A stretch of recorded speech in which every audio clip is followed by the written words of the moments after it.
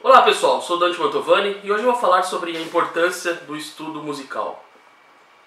A educação musical é uma matéria tão importante que na Grécia Antiga era considerada assunto de Estado. Isso mesmo, o Estado era responsável pela educação musical. E isso veio da obra, do pensamento de um grande filósofo, o Platão. Todos nós já ouvimos falar do Platão. Né? E o Platão tinha essa teoria de que a educação musical deveria ser um assunto de Estado. Mas por que, que o Platão chegou nessa teoria? Porque é, na Grécia Antiga, na Grécia Clássica, né, onde surgiu a filosofia, onde surgiu a democracia, onde surgiu a ciência, onde as artes também foram sistematizadas, né, descobertas. Enfim, a, a Grécia é o berço da civilização ocidental.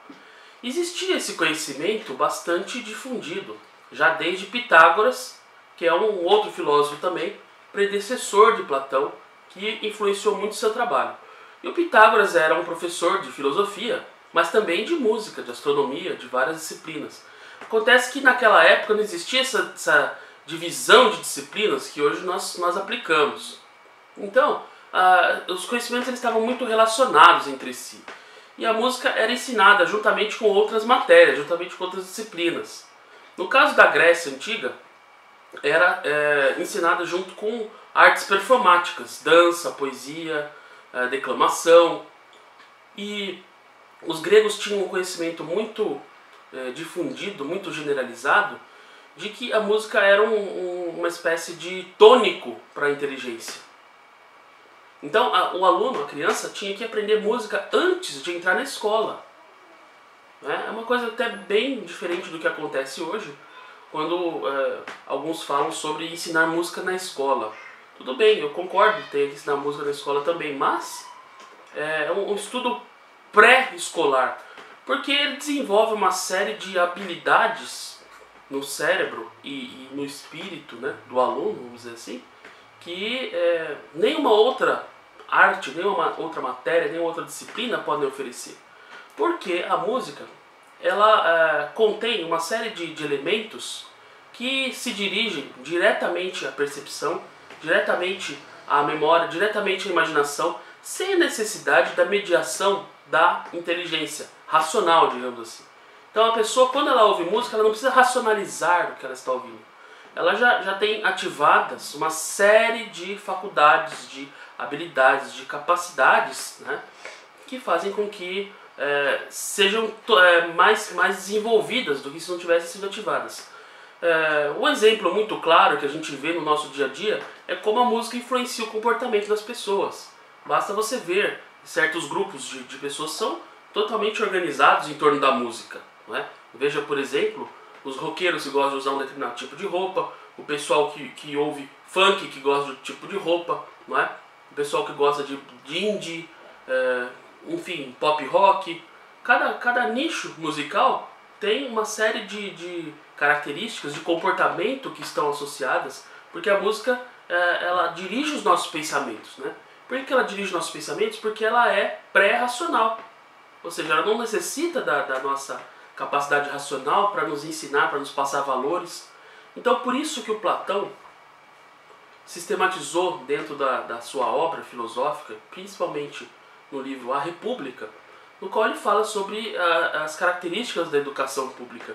E ele fala que a música tem que ser um assunto de Estado porque ela é muito importante. Dependendo do tipo de música e do tipo de educação musical, nós tendemos a uma sociedade mais ou menos livre, mais ou menos moral, mais ou menos decente. Tomem o caso, por exemplo, do Brasil.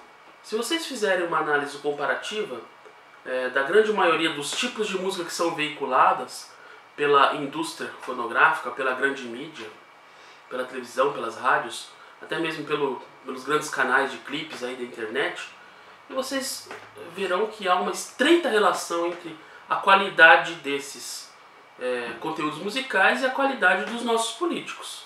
A qualidade dos nossos políticos dispensa apresentações, não preciso nem falar. preciso nem usar adjetivos que todos já sabem, né? Todos têm acompanhado os noticiários. E a qualidade da música, por que, que ninguém para para pensar na relação entre essas duas coisas? Quer dizer, um povo que não tem uma educação musical, que não tem uma educação sonora, que não educa seu ouvido, necessariamente vai cair em enganação e vai cair é, nessa espiral de indecência, de imoralidade que hoje nós vemos graçar por todo o país. Então, os gregos não eram nada bestas, né? Tanto que influenciaram milênios, continuam influenciando. Hoje mesmo, porque existe toda um, uma teoria revolucionária de que se deve inventar coisas novas do zero, destruir tudo que já existiu, né?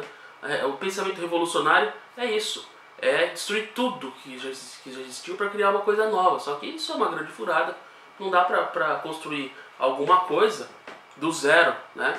Então a gente tem sempre que aproveitar as coisas boas. Essa palavra é muito supervalorizada, revolução, revolucionário. Isso significa, na prática, a destruição de tudo que veio antes. Isso não é saudável, isso não é inteligente. Claro que tem muita coisa que veio antes que não, não se deve aproveitar, mas muita coisa se deve aproveitar. Um exemplo disso é a sabedoria dos gregos, tá certo? Então, pensando nisso, uma série de outras razões, eu montei um curso de música, um curso online de música. Se você quiser conhecer, eu essas questões e muitas outras relacionadas ao universo musical. O endereço é seminariodemusica.org http dois seminariodemusica.org Tá certo, pessoal? Então eu sou Dante Mantovani. Até o próximo vídeo. grande abraço.